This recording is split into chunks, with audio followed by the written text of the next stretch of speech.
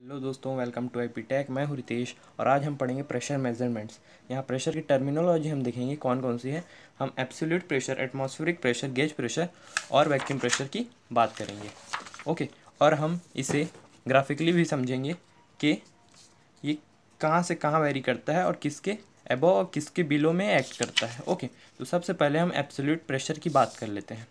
Okay the pressure which is measured with reference to absolute vacuum और zero pressure तो absolute vacuum क्या है?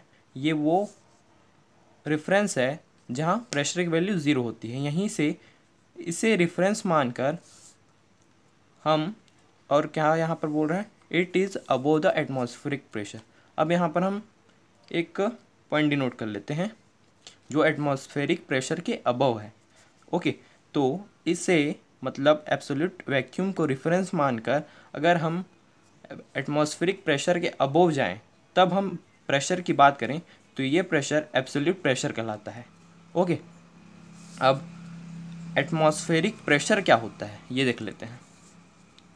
It is the pressure in the surrounding atmosphere मतलब हमारे atmosphere के surrounding जो pressure है, उसे ही हम एटमॉस्फेरिक प्रेशर कहते हैं।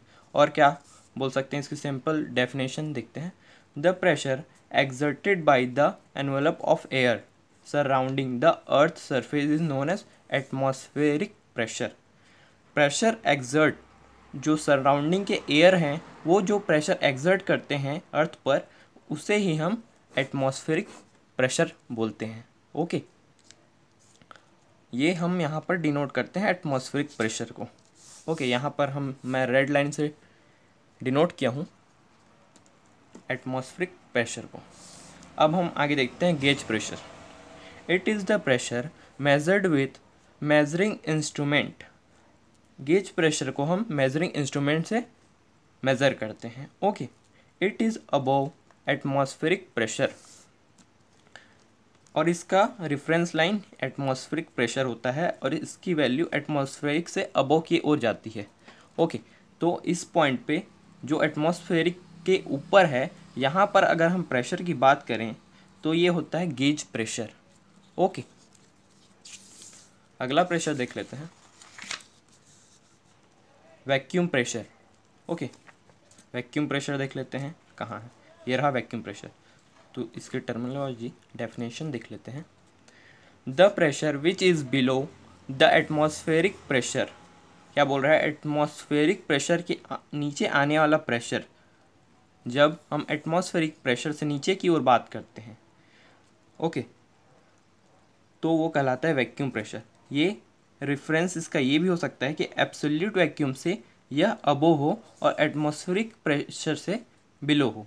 तो जब हम इस पॉइंट को हम देखें तो इस प्रेशर के स्टडी को हम बोलेंगे vacuum pressure it is also known as suction pressure और नेगेटिव प्रेशर और इसी प्रेशर को क्योंकि ये एटमॉस्फेरिक प्रेशर के बिलो आ रहा है, इसे हम नेगेटिव प्रेशर भी कहते हैं।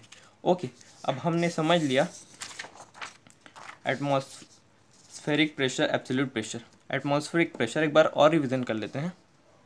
एब्सोल्यूट प्रेशर क्या है? एब्सोल्यूट प्रेशर वो प्रेशर जिसकी रेफरेंस लाइन हम एब्सोल्यूट वैक्यूम लेते हैं और जो एटमॉस्फेरिक प्रेशर के ऊपर तक एक्ट कर रहा होता है, वो है एब्सोल्यूट प्रेशर दूसरा pressure atmospheric pressure atmospheric pressure वही जो हमारे सराउंडिंग में एक्ट करता है एयर के द्वारा।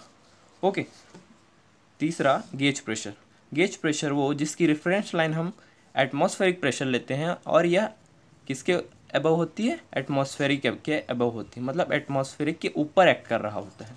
ओके और लास्ट और चौथा वैक्यूम प्रेशर वैक्यूम प्रेशर इसे हम एटमॉस्फेरिक प्रेशर के बिलो डिनोट करते हैं और एब्सोल्यूट वैक्यूम से ऊपर।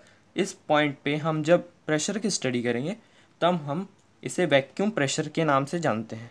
Okay thank you for watching